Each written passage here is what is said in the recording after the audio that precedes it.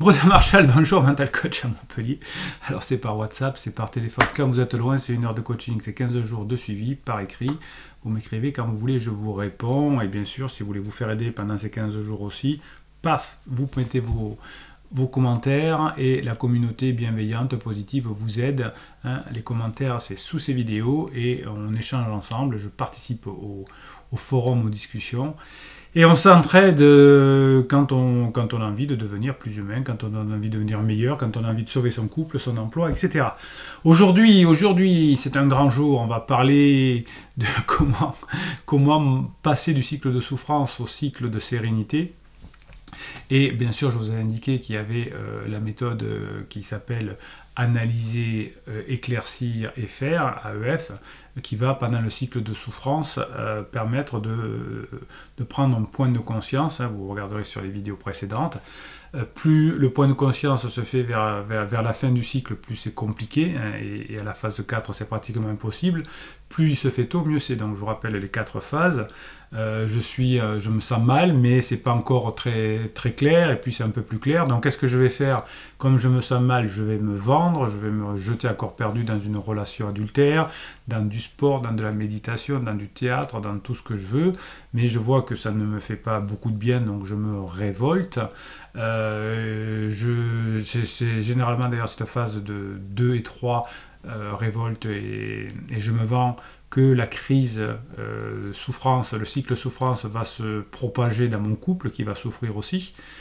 Et ensuite, quand mon couple souffre, mon conjoint souffre aussi, et mes enfants souffrent aussi. alors le conjoint en 3, le, couple en, 2, le, conjoint en 3 et les enfants en 4 c'est une traînée de poudre. Donc quand je suis moi dans mon cycle de, souffrance en 3, je me révolte, je vais voir me séparer de cette souffrance.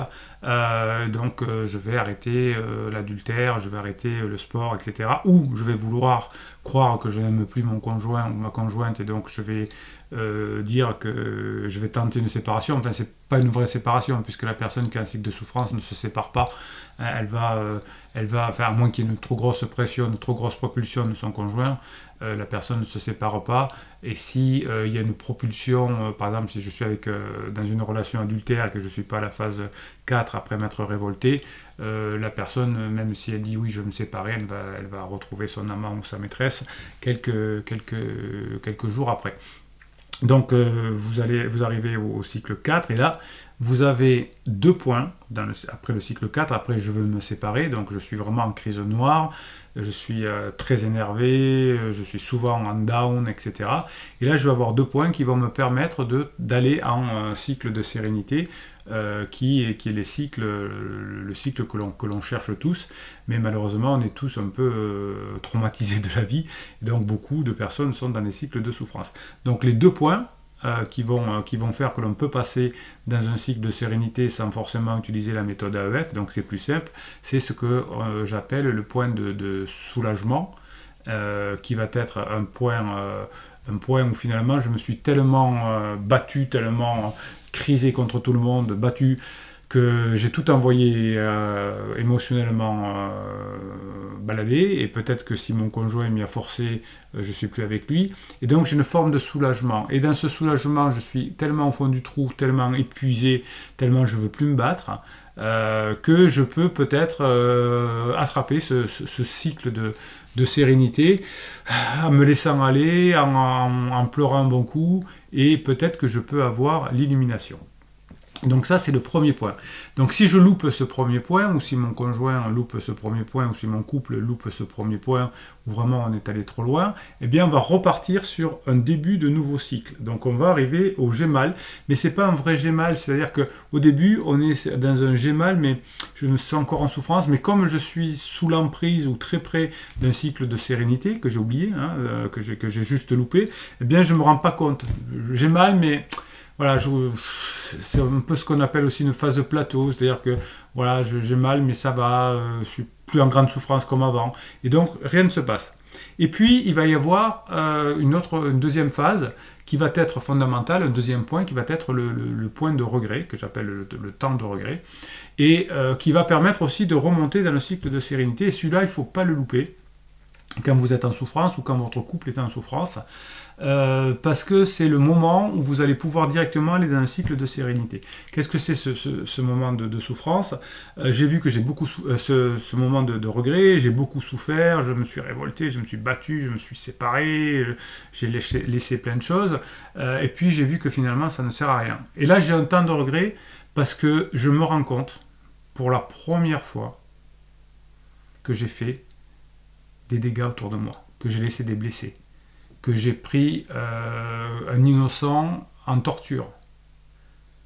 Et si je m'en rends compte, je veux plus faire ça. Et là, je vais entamer un cycle de sérénité. Si je loupe cet instant, si je loupe dans le cycle euh, ce moment de regret, eh ben, je vais repartir sur un cycle. Il va falloir que j'attende le temps de regret suffisant.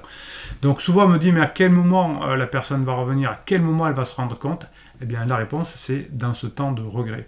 Donc ce temps de regret, vraiment la personne doit se rendre compte qu'elle a, fait du mal, que son cycle de, souffrance à elle, qui peut être une crise existentielle, ce cycle de souffrance, euh, il, a enflammé le couple, il a enflammé son conjoint, il a enflammé ses enfants. Et, on se dit que c'est quand même pas logique, c'est pas normal, c'est pas bien d'avoir euh, fait ce genre de choses.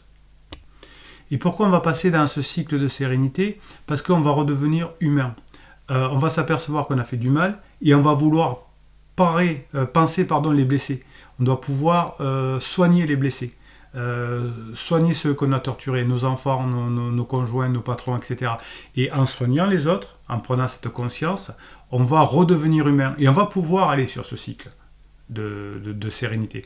Mais si on loupe cette étape, on va repartir sur une partie où on est sous-humain en, réalité, puisqu'on pense qu'à soi, puisqu'on on veut s'en sortir seul, parce que seul ses plaisirs comptent, parce qu'on on blesse les autres, mais on, s'en fiche un peu.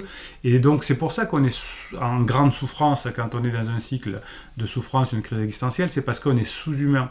Les humains, on se, nous, nous avons en tant qu'humains euh, cette, cette, notion d'empathie, cette notion de miroir qui fait qu'on ne fait pas n'importe quoi, parce que euh, quand on fait mal aux autres, ça se retourne contre nous, on le sait. Mais quand on est dans cette crise, dans un cycle de souffrance, on est sous-humain et c'est pour ça qu'on souffre.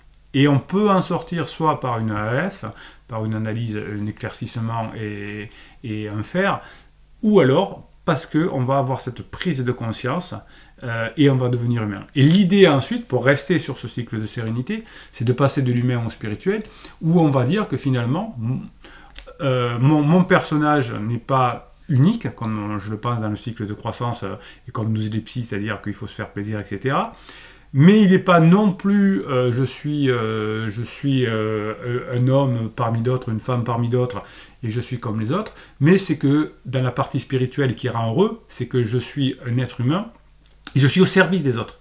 C'est-à-dire d'une cause plus grande, c'est comme la fourmi qui va vouloir partir seule dans la, dans la forêt, elle va se faire, ben, elle va mourir parce qu'elle n'a plus, plus aucune, aucune utilité dans la, dans la société, et elle va se faire, euh, ben, elle, va, elle, va, mourir parce que la nature va s'occuper d'elle.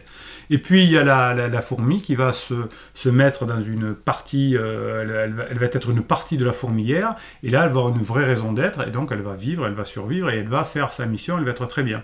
Et nous, en tant qu'humains, on a une chance, c'est qu'on peut aussi devenir spirituel. Donc c'est pour ça que je vous dis, surtout si vous voulez sortir de votre crise de couple euh, ou de crise de souffrance, il faut aller vers ce travail sur soi. Il faut aller vers ce AEF qui va vous permettre de sortir du cycle de souffrance sans attendre la phase de regret. Si vous attendez la phase de regret, c'est mort. Alors, quand l'autre est en crise dans votre couple et que le crise, euh, vous ne saviez pas, vous n'avez pas regardé ces vidéos au, départ, etc., vous êtes laissé enflammer. Eh bien, si vous faites ce travail, c'est pour ça que je vous engueule dans les coachings, vous ne vous bossez pas assez sur vous. Si vous bossez, si vous faites du AEF, eh bien, vous allez sortir votre couple et vous allez aller vers un couple, un, cycle de sérénité. Mais si vous restez vous aussi dans la machine à laver en voulant critiquer l'autre en disant c'est pas normal, je suis blessé, oui, oui, vous êtes blessé, oui, vous êtes laissé entraîner, oui, vos enfants souffrent, bien évidemment. Mais il va falloir que grâce à ce travail sur vous, vous sortiez le vous de ce cycle. Et si vous sortez de ce cycle, vous sortez du cycle de souffrance du couple. Le couple n'est plus en souffrance. Seul votre, conjointe est en souffrance, votre conjoint est en souffrance, et donc il y aura cette phase de regret et il pourra sortir aussi. Donc si vous voulez sortir votre couple euh, du marasme, il faudra euh, que vous sortiez vous de cycle de souffrance.